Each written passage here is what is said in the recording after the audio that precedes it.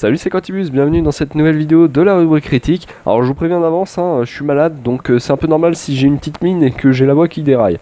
Allez c'est parti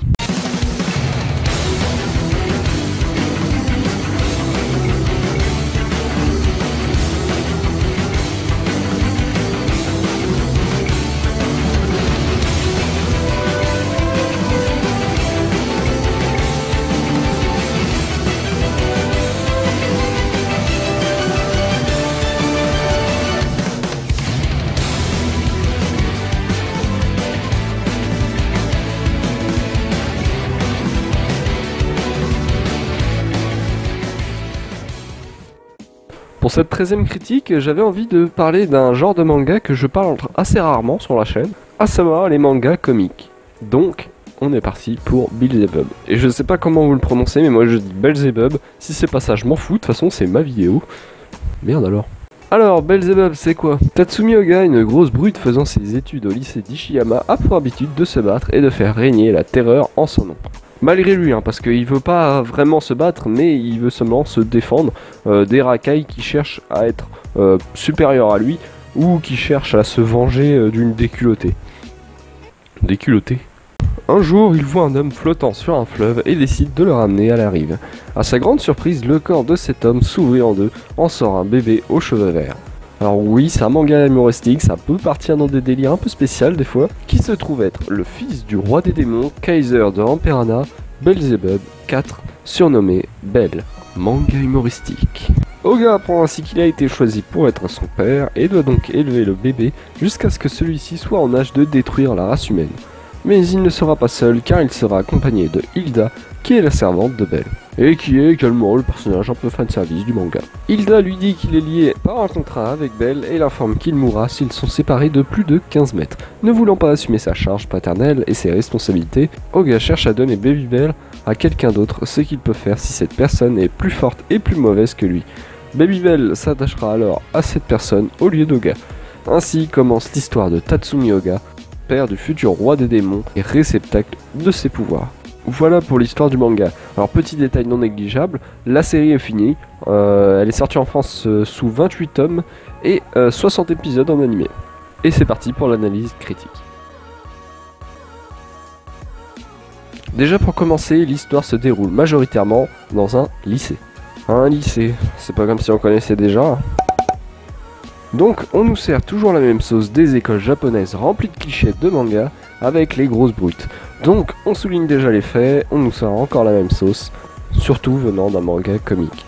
Heureusement on a quelques arcs se passant en dehors de la ville ou du lycée, ceux-ci se passant soit dans les parcs, le dojo de Aoi ou encore en enfer, ce qui offre une liberté pour l'auteur afin de créer un bestiaire, parfois il doute... Si j'arrive à rester en vie jusqu'à la fin de la vidéo, ce serait pas mal. Mais ces arcs sont malheureusement trop courts, ils ne sont que périodiques ou de passage. Pour à chaque fois laisser place à un retour au lycée avec les mêmes trames narratifs. Baston, baston, baston, faut buter au gars, on va défoncer au gars, patati, patata. Mais je suis quand même assez mauvaise langue, hein, parce que le manga qui n'avait que cette intrigue là au départ a quand même réussi à s'étendre sur 28 tomes et 60 épisodes, donc c'est pas un hasard à mon avis. On sent quand même des fois que l'auteur a voulu faire évoluer un petit peu l'intrigue et les personnages. Mais le manga a quand même un but. Oga doit refourguer Babyvel à quelqu'un d'autre afin d'avoir la paix, et pour cela, il doit donc retrouver quelqu'un de plus fort que lui. Le but du héros ne sera donc pas de devenir le plus fort, car il l'est déjà, mais plutôt de trouver qui pourra le vaincre. Tiens, c'est bizarre, ça me rappelle un truc ça. Ce manga, il cherche pas à glorifier euh, l'amitié, euh, l'aventure ou les convictions, mais à prouver qu'une brute peut avoir un cœur. Sinon, au niveau de l'humour, ce qui fait le trait central de ce manga, bah, je trouve ça plutôt réussi. Hein. Bon, évidemment, ça va pas me faire, euh, éclater de rire, euh, me faire mourir de rire. Mais j'ai trouvé que l'humour est plutôt présent, hein, sans, sans pour autant être bien acharné. On a beaucoup de gags, mais c'est plutôt bien dosé, je trouve. Hein. Même si, bien, bien évidemment, ça tourne autour des mêmes gags. Souvent, euh, on détourne un peu l'image des grosses brutes pour accentuer sur leur côté un petit peu sentimental. Mais bon, moi ça me fait rire donc ça marche. Et il y a ce cassage de quatrième mur constant qui est d'ailleurs plus présent dans l'animé. Ça c'est pareil, ils le font de temps en temps, pas trop souvent, ce qui garde une certaine crédibilité à l'intrigue. Donc pour l'histoire, je lui mets un 6 sur 10. Alors au niveau des personnages, il y en a pas mal, hein, même si euh, on sent que c'est un peu toujours la même chose. Rakai, Rakai, Rakai, encore des Rakai. On a comme dans tout manga comique des personnages extravagants. Toujours le personnage bien musclé avec des tendances un peu euh, douteuses encore une fois. Le personnage débile, hein, Sayana l'appelle à chaque fois. Mais toujours avec un esprit plein de conviction, hein, ça on n'oublie pas. Au sujet de Oga, qui est le personnage central du manga, on a là un héros euh, très naïf, très fort, entouré d'amis ou d'ennemis, qui deviendra ami à la suite de leur défaite face aux héros de l'histoire. Bon, je vais pas me répéter, hein, mais bon... Euh... Bah voilà, quoi. Du coup, vous l'aurez compris, les personnages, c'est pas son fort, et moi, je mets la note de 2 sur 5. Pour finir, l'animé. Bien en somme, bah, c'est pas dégueu, on a de bons openings, une belle bande son, enfin, disons correct. Hein.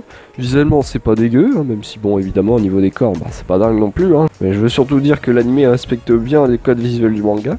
Le dessin est somme toute très très simple, hein, mais qui colle à l'ambiance. Il n'y a pas tellement besoin de faire quelque chose de très détaillé pour un manga d'humour de baston. Les décors sont très peu diversifiés, des bâtiments, des bâtiments, des bâtiments. Ah, un petit peu d'armes là. Bon voilà, hein, je vais pas détailler plus que ça, hein, parce que bon, euh, le manga moi je le trouve juste euh, correct, hein, euh, il casse pas non plus des briques. Oh, faut que j'arrête avec ces expressions à la con. Allez, la note 3,5 sur 5. Du coup, la note finale, 6 plus 2 plus 3,5, ça donne 11,5.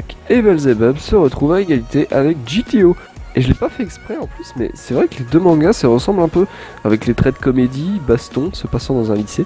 Mais je pense que vous serez d'accord avec moi, hein. euh, GTO se doit d'être au-dessus de Belzebub. Les fans sont nombreux, s'agirait pas de les décevoir, hein. surtout que GTO était bien bas dans ce classement. Donc voilà pour cette rubrique critique, euh, j'espère qu'elle vous aura plu. On se retrouve pour une prochaine vidéo sur Cinémagique. En attendant, je vous invite à vous abonner à la chaîne, à nous suivre sur les réseaux sociaux. C'était Cantibus, salut